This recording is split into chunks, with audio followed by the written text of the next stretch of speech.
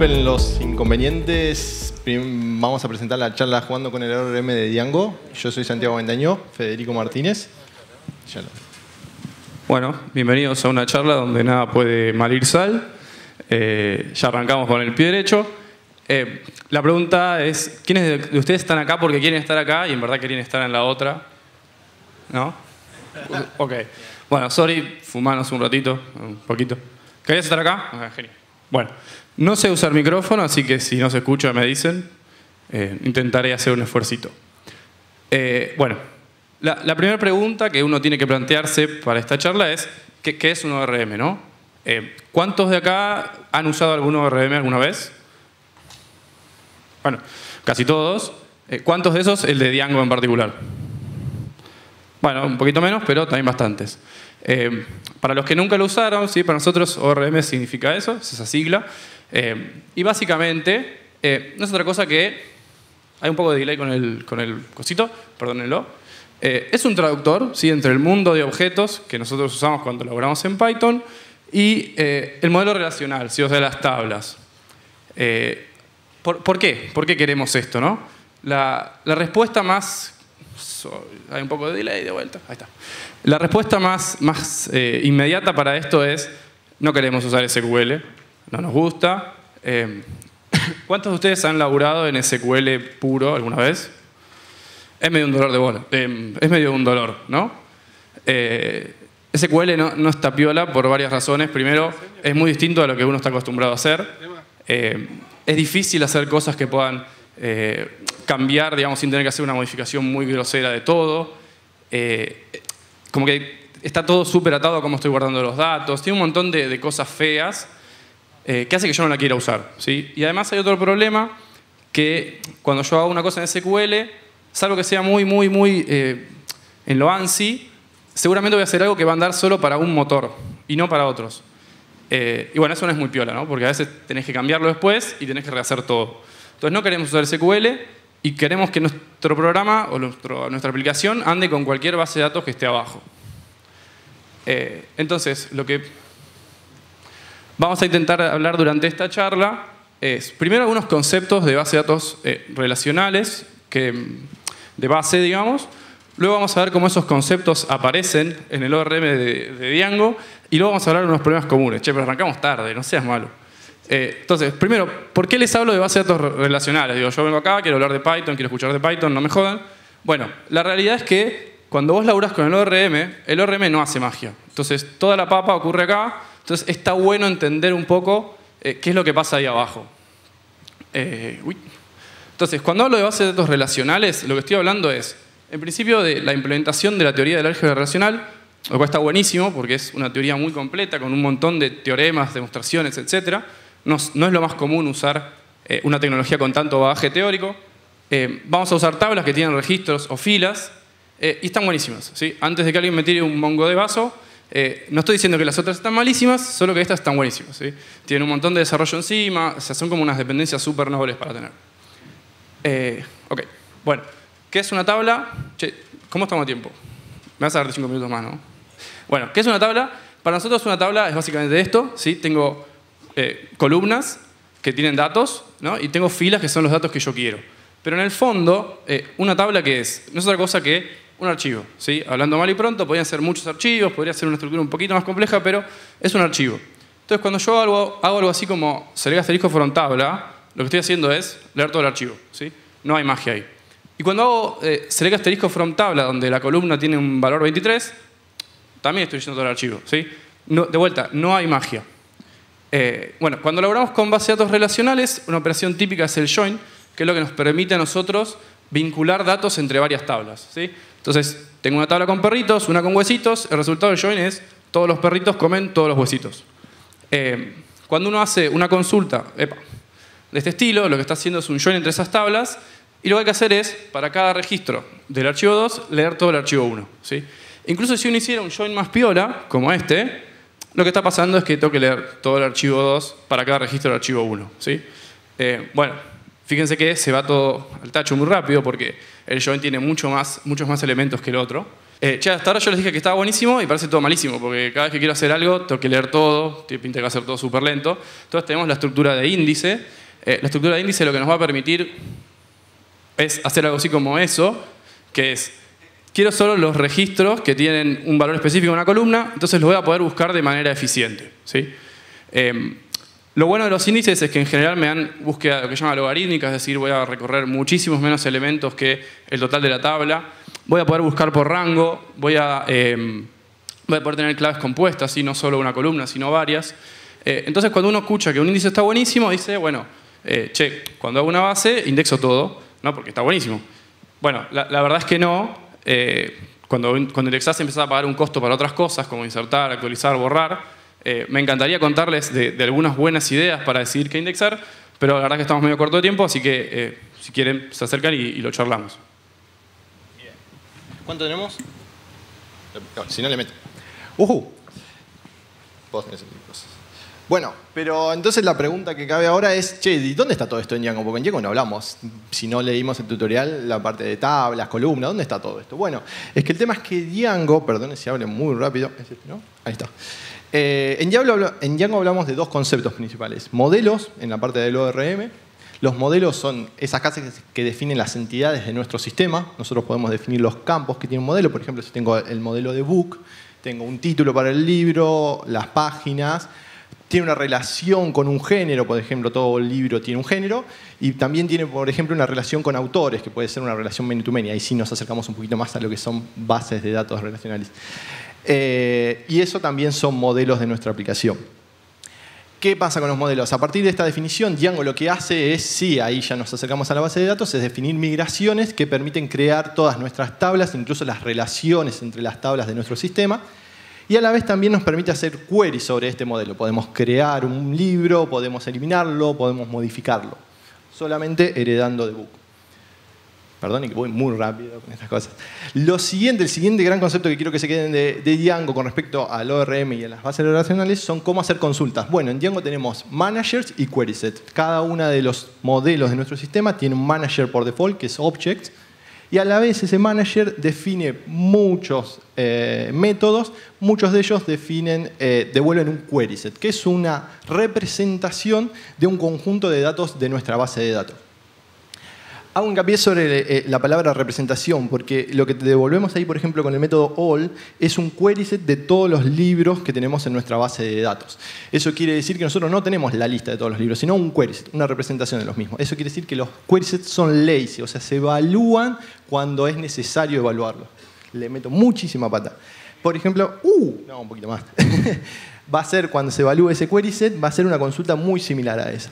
Podemos hacer cosas mucho más complicadas y que nos permiten abstraer la idea de base de datos. Por ejemplo, dame todos los libros que tienen en su título la palabra anillos y va a ser una consulta con e, como esta. Fíjense que acá ya no necesito saber cómo hacer un contains de SQL, eso está buenísimo. Y puedo hacer cosas recontra mucho más complicadas con una sola línea de Django. Por ejemplo, en este caso, dame todos los libros cuyo autor tiene un user, cuyo username es JRR. Y va a ser un join recontra complicado como este en una sola línea de Django voy muy rápido. Bueno, índices, hay dos maneras simples de definir índices para comparar todo lo que explicó Fede un poco. Puedes decirle a un campo que defina un índice y también puedo definir índices compuestos y a la vez Django también define algunos índices eh, en forma implícita en las foreign keys y en los unique.